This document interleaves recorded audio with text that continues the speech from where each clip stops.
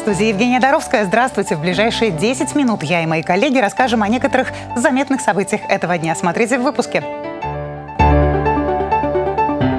Секреты музейной ночи, когда в Барнауле отремонтируют краеведческий музей. Мгновение, сколько непристегнутых детей гибнет под колесами на дорогах края. 30 призеров. Включайся ногами, сказал. Вот и все, больше ничего и не надо. Как алтайские спортсмены удержали на лопатках соперников.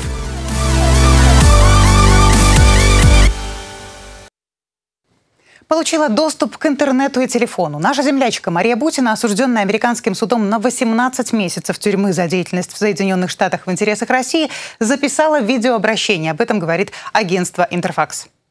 Я сейчас нахожусь в транзитном пункте в Оклахоме, и такое ощущение, что я снова вернулась а, в эпоху современности. Теперь у нас есть интернет, и я могу записать видеосообщение.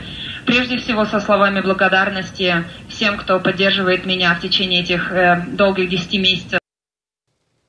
Мария напомнила, что ее адвокаты намерены обжаловать приговоры, ей предстоят новые траты. Бутина просит всех, у кого есть возможность, помочь ей финансово. Россиянка констатировала, что несправедливость происходит сейчас со многими соотечественниками, и ее ситуация лишь отражение текущей действительности. Напомним, по версии следствия, Бутина как минимум с 2015 года занималась в Соединенных Штатах конспиративной деятельностью в пользу России. В конце 2018 она признала вину в нарушении закона Соединенных Штатов и пошла на сделку с прокуратурой. Дорожно-транспортное происшествие с участием нескольких автомобилей, в том числе грузовых, произошло сегодня на границе с Алтайским краем, пишут очевидцы в паблике «Барнаул-22». Сообщается, что ДТП произошло на трассе Р-256 в районе перекрестка КП в Черепановском районе. По данным источника, участниками аварии стали около семи машин. Информация о пострадавших не поступала. Ну, кстати, всего с начала года в крае произошло 8 ДТП с участием детей-пассажиров в автомобилях, которых не было автокресел или дети были не пристегнуты. Пострадали 9 несовершеннолетних. Будь они надежно зафиксированы в креслах, подобных травм, возможно, было бы меньше, говорят полицейские. Алтайские медики и сотрудники ГИБДД провели совместную акцию и, что называется, не отходя от кассы, прямо в роддоме рассказали родителям, почему так важно оснащать машины автокреслом. Подробности в сюжете Александра Захарова. В семье Константина и Ирины Воронковых сегодня особенный день. Счастливый отец приехал забирать жену и долгожданного первенца Дмитрия. Глава семьи подготовился к этому событию основательно, вплоть до мельчайших деталей в виде наклеек на автомобиль. Не забыл он еще один важный аксессуар – детское автокресло. Автолюлька крепится в обязательном порядке с обратной стороны по, против движения Алтайский краевой клинический центр охраны материнства и детства совместно с краевым ГИБДД провели акцию. Ее цель – объяснить родителям, почему так важно иметь в машине удерживающее устройство для малыша. Ведь еще свежа в памяти трагическая авария на проспекте Ленина в Барнауле, когда гонщик на БМВ врезался в автомобиль, в котором ехали непристегнутые дети. И всегда сам пристегиваюсь в автомобиле, поэтому ребенок как бы должен быть всегда под защитой. Мы обязательно будем пользоваться только автокреслом, обязательно, потому что это безопасность нашего ребенка, за которого мы в ответе. После того, как счастливые Ирина и Константин уехали, дорожные полицейские врачи учреждения провели ликбез по автокреслам и для будущих рожениц. Ребенок уложен, ремни заходят за плечики,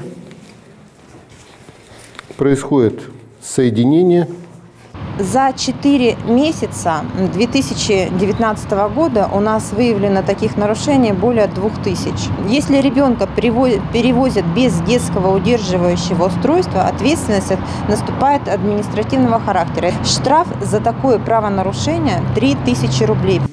Хочется верить, что до штрафов дело все-таки не дойдет, а все родители осознают, что детское кресло или люлька – это не просто чья-то прихоть, а возможность беречь самое дорогое.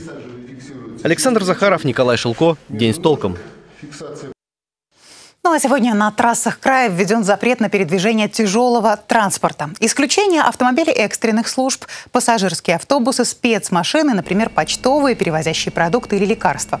Ограничения традиционно вводят летом до конца августа на двух федеральных трассах. Действует оно с 10 утра до 22 вечера при температуре воздуха выше плюс 32.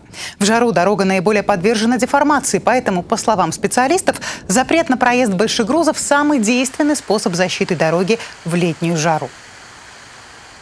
Ну, а реконструкция Алтайского краеведческого музея обойдется э, Алтайскому краю в 300 миллионов рублей и начнется в 2020 году. Об этом заявил губернатор региона Виктор Томенко во время проведения музейной ночи в Барнауле. Напомним, о ремонте музея впервые заговорили еще в 2012 -м. Проект предполагает реставрацию основного здания и пристройку нового корпуса.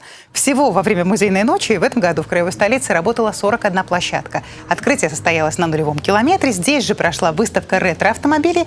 Традиционно к акции присоединились все музеи и выставочные залы города. Но на этот раз в качестве экскурсоводов себя решили попробовать даже чиновники. В музее транспорта, например, гостей встречал лично министр краевого Минтранса. Впервые к акции присоединилась и старейшая гостиница советского периода «Алтай». Подробнее о том, как прошла музейная ночь в Барнауле и какие были решения, смотрите в вечернем выпуске.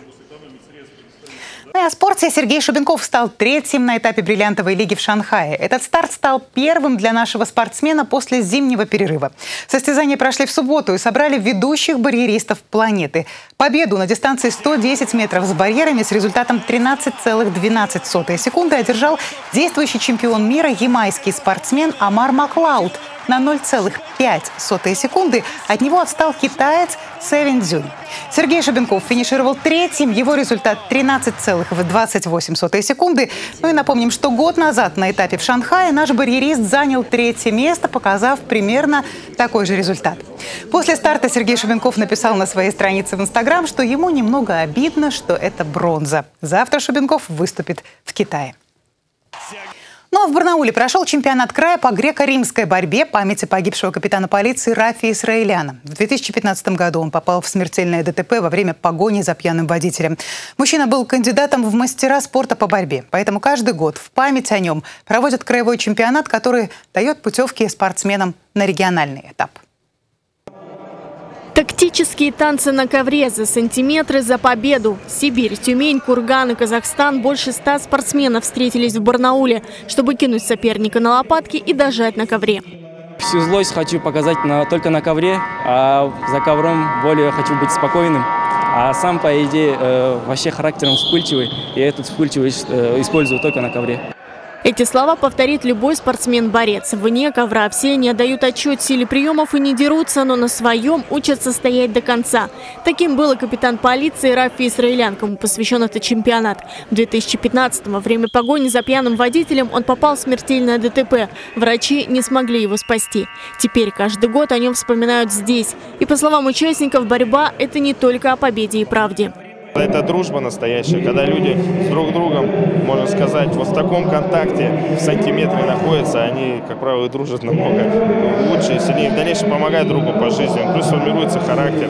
Помимо того, что как бы, после нашего вида спорта не обязательно все становятся олимпийские чемпионы, да, они уходят в люди, становятся достойными людьми, достойными отцами. Включайся ногами, сказал!